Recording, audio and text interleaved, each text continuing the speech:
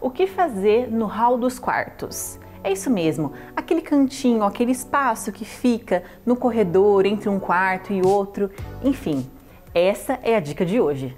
Então aqui, pessoal, eu estou no andar de cima de uma casa em que nós mobiliamos. Aqui, esse andar é só para os dormitórios, né? Então aqui nós temos o corredor com quartos para um lado, quartos para o outro e tem esse hall aqui, que é um espaço meio perdido.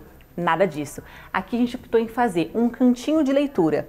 Às vezes você está no seu quarto, né, com seu marido, enfim, ele quer dormir e você quer ler um livro. Para não ficar atrapalhando ele, justamente o motivo pelo qual nós fizemos esse espaço de leitura aqui. Um espaço aconchegante, em que a gente colocou essa poltrona super confortável, misturando dois tipos de tecidos, um linho, um linhão mais escuro nas costas e um mais claro na frente, já fazendo a composição com o puff, que é do mesmo fornecedor e da mesma linha, os dois com os pés de madeira, aqui o puff todo no linho e só o debrum, que é esse cordãozinho, ó, no mesmo tecido das costas da poltrona.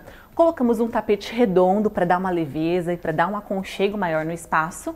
E essa mesa de apoio que também é da loja, justamente para a gente colocar um abajur né, para apoiar o livro, apoiar um copo de água, enfim, é uma mesa que ela é mais clássica, ela é mais delicada e o tom de madeira da mesa está super combinando com o tom do pé da, da poltrona e do pé do puff também. Então é um espaço de leitura, um cantinho gostoso, um cantinho aconchegante, em que nós optamos fazer aqui em cima no hall dos quartos, mas você pode replicar né, essa proposta em outros ambientes da sua casa também.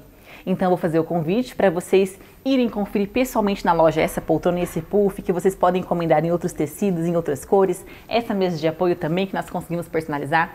Tudo isso é na Castelo Móveis Decorações, Avenida Presidente Castelo Branco, número 1212, e nos acompanhe também na nossa fanpage no Facebook e no nosso Instagram.